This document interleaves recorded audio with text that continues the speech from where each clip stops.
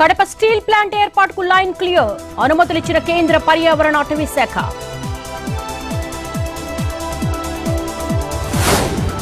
సిఈసితో YCP ఎంపీల భేటీ. విజయసాయిరెడ్డి నేతృత్వంలో కలిసిన ఎంపీలు టీడీపీ గుర్తింపును రద్దు చేయాలని సిఈసికి వినతి.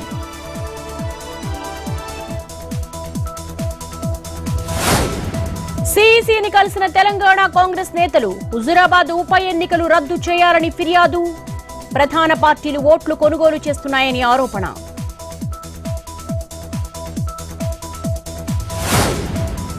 ఈ నెల ముప్పై ఒకటిన విశాఖలో పవన్ కళ్యాణ్ పర్యటన ఉక్కు పరిరక్షణ పోరాట ఉద్యమానికి సంఘీభావం. బద్వేల్లో పోలీస్ బలగాలు కవాతు ఓటు హక్కు వినియోగించుకోవాలని సూచనలు.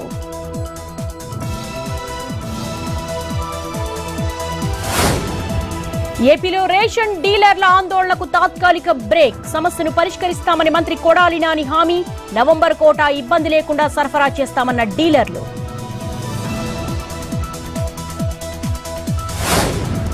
రాజమండ్రిలో రోడ్డెక్కిన లారీ ఓనర్స్ అసోసియేషన్. పెంచిన పెట్రోల్ డీజిల్ ధరలు వెంటనే తగ్గించాలని డిమాండ్.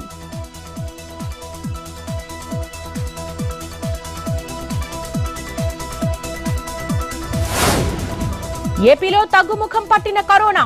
మూడు వందల ఎనభై ఒక్క మందికి పాజిటివ్ ఒకరు మృతి.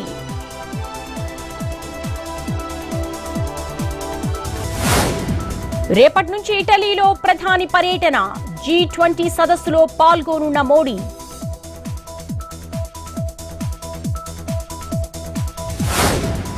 కర్ణాటక మహారాష్ట్రలోనే ఏవై ఫోర్ పాయింట్ టూ రకం కేసులు. ఇప్పటివరకు దేశంలో పద్దెనిమిది కేసులు నమోదు. ఆర్యన్ ఖాన్కు బెయిల్ మంజూరు చేసిన బాంబే హైకోర్టు రేపు జైలు నుంచి విడుదలయ్యే అవకాశం.